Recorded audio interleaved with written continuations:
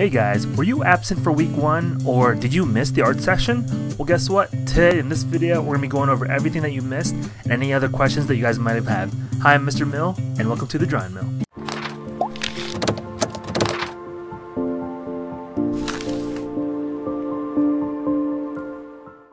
Alright, I'm going to answer five questions that you guys have had that are commonly asked uh, about this uh, e-learning experience. I'm going to answer it to you guys right now. So number one, uh, the down camera keeps getting blurry then clear. Why is that? So what people are referring to is this camera up here. It's attached to this boom arm and it's been autofocusing at a very odd rate. So um, I changed some settings on my computer and it shouldn't be doing that anymore from videos from here on out. So I apologize for that and that's all fixed. Alright, question number two. Uh, your videos are too long or your videos are too fast. Um, what can I say about that? Alright, I'm still judging uh, how time works when it comes to filming stuff and when everything's compiling together. Uh, the time uh, I'm trying to aim for is 15 minutes. Uh, so if it's running longer than that, I apologize. If it's running before that, which it shouldn't, um, I apologize for that too. The reason why videos are going too fast is because I'm trying to pack in as much information as I can. But the good thing about video is that you can always pause it uh, if I'm going too fast. You can always go at your own pace. All right, question number three. Uh, I can't view the video. My Gmail account can't access it. Uh, there was an issue in the beginning uh, where I, uh, on my YouTube settings, uh, the video wasn't categorized for kids.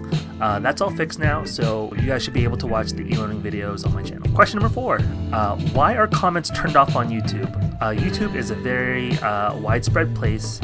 it's for the safety of you and the safety of our students at Homestead. So I'm just gonna leave it at that.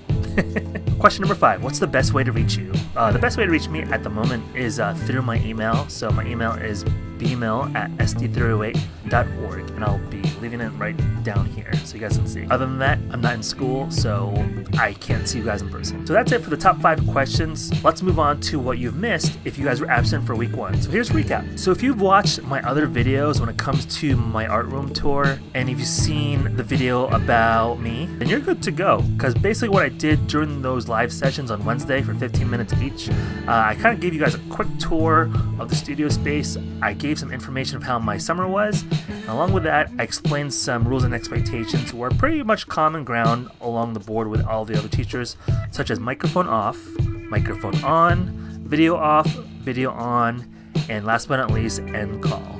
That's all I talked about. So this is a quick recap of what happened this week. It's not much, but um, I didn't really do any uh, art-related stuff. There's nothing due. There's no assignments. It was just a get to know you guys, and I was able to ask five kids how their summer was as well. I got some really good answers, and I can't wait to hear more about you guys. So, anyways, that's it for the recap, and I'll see you guys next week. Bye bye!